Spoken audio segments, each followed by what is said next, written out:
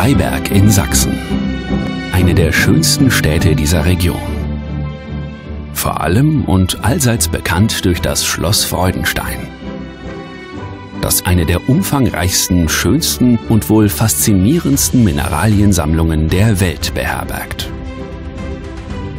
Die Terra Mineralia, eine Ausstellung der TU Bergakademie Freiberg, zeigt in historischem Ambiente 3500 märchenhaft schöne Minerale und Edelsteine aus fünf Kontinenten.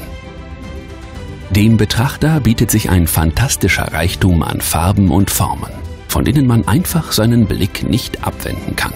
Und all dies in einem modernen und anziehenden Ausstellungsarrangement.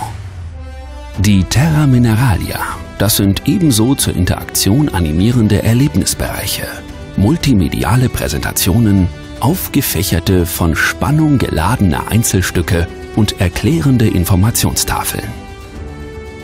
Den jüngsten Ausstellungsbesuchern wird Gullivers Reisen gleich ein Ausflug in die Kristallstruktur geboten.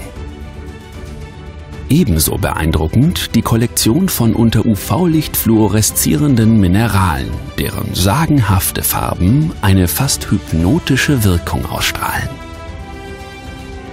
Das Schloss Freudenstein ist für Besucher aus der ganzen Welt auf das Beste gewappnet. Für sie werden Audioguide-Führungen in mehreren Sprachversionen angeboten. Für all jene, die noch ein wenig mehr wissen möchten, gibt es das Wissenschaftszentrum, genannt Forschungsreise, das eine hervorragende Möglichkeit des Kennenlernens der Geheimnisse von Mineralen aus allernächster Nähe bietet. Besonders prachtvolle Stücke oder Raritäten aus der Welt der Mineralien, aus Edelsteinen angefertigter Schmuck, die berühmten Silberlocken aus dem nahegelegenen Bergwerk sowie eine Sammlung echter Meteoriten zeigt die Schatzkammer.